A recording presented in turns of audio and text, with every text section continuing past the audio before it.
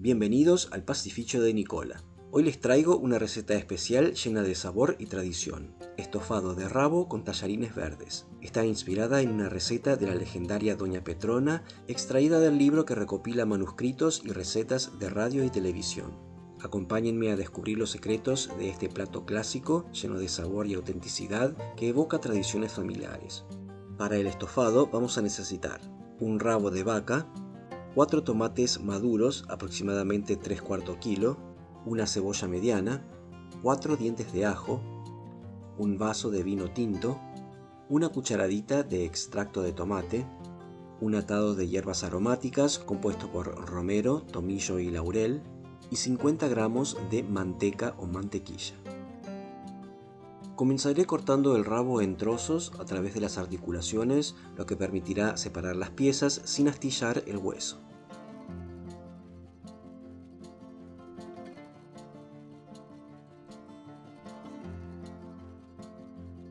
Condimento con sal,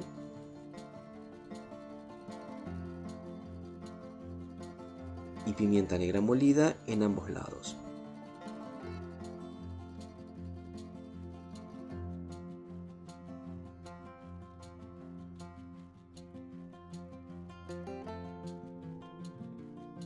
Luego en una olla añado suficiente aceite para cubrir el fondo. Dejo que se caliente y procedo a dorar los trozos de rabo por ambos lados a fuego medio, hasta obtener una buena caramelización. Lo haré en dos tandas para no sobrecargar la olla sin moverlos demasiado, permitiendo que la carne se dore bien por un lado antes de dar la vuelta, evitando que se hierva en vez de dorarse.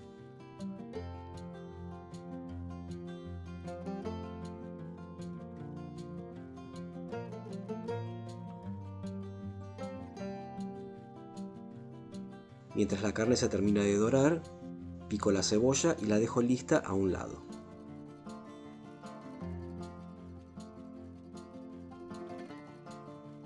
Una vez que todos los trozos de rabo estén dorados, los retiro de la olla y en esa misma grasa comienzo a dorar la cebolla. junto con los cuatro dientes de ajo pelados y enteros.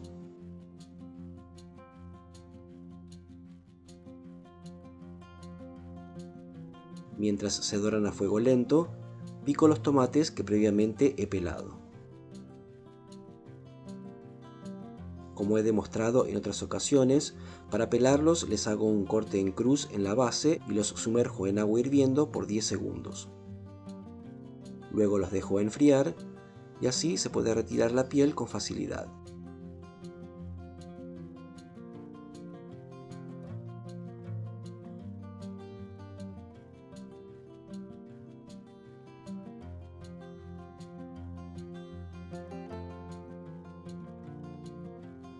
Una vez que la cebolla y los ajos estén dorados, agrego los tomates picados,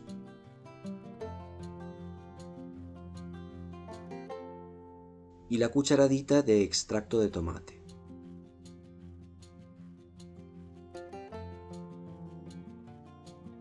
Dejo cocinar unos minutos y luego añado los trozos de rabo, el vino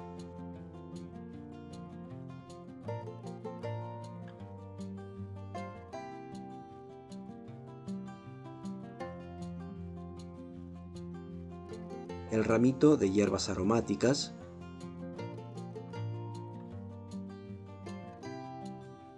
y finalmente la manteca o mantequilla, que ayudará a equilibrar los sabores ácidos de ingredientes como el vino tinto y los tomates, suavizando así el sabor general del plato. Condimento con sal, cubro y dejo cocinar por al menos una hora a fuego lento o hasta que la carne esté bien tierna. Y para preparar los tallarines verdes necesitaremos 100 gramos de espinaca cruda, solo las hojas, 300 gramos de harina, que en este caso es 4 ceros, y 2 huevos. Separo los tallos y pongo las hojas en un mortero.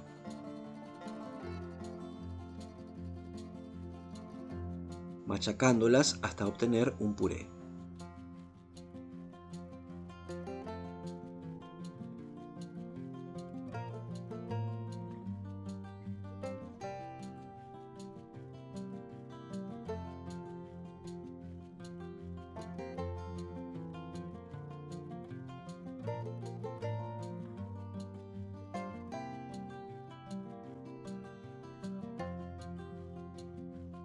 Pongo la harina sobre la mesa. Hago un hueco en el centro. Añado las espinacas machacadas. Los huevos. Y una pizca de sal. Comienzo mezclando los ingredientes del centro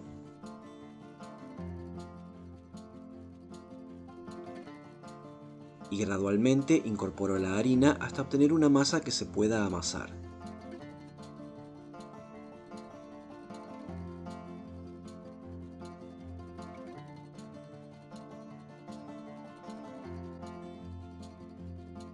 Debido a la humedad de las espinacas, podría necesitarse más harina. La masa debe ser firme y homogénea, sin pegarse a las manos.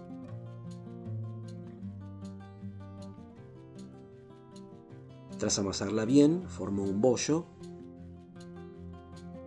y lo envuelvo en una bolsa de plástico para reposar al menos 30 minutos. Luego la estiro bien delgada hasta obtener un grosor de aproximadamente un milímetro.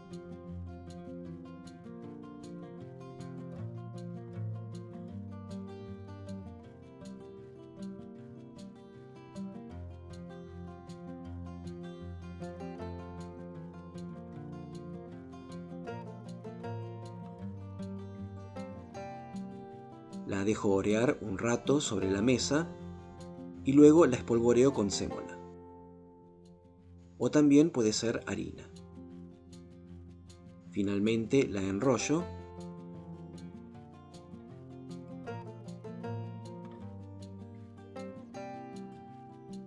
y con un cuchillo filoso corto los tallarines.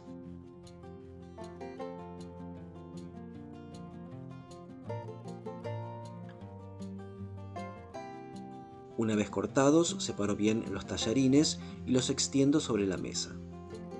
Pueden dejarse así hasta el momento de cocinarlos o prepararse con antelación y conservarse en una bandeja sin tapar dentro de la heladera. El estofado ya está listo. Retiro las hierbas aromáticas,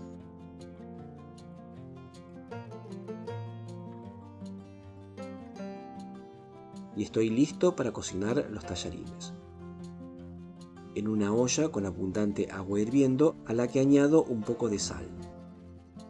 Agrego los tallarines que tardarán de 3 a 5 minutos en cocerse, dependiendo del grosor que tengan y de cuánto hayan secado.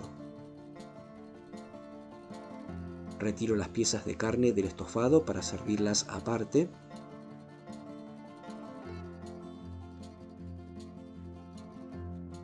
Escurro los tallarines los coloco en una fuente para servir.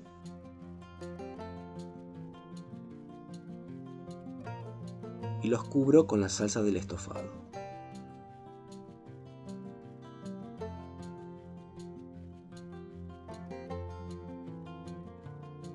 Sirvo acompañándolos con abundante queso rallado.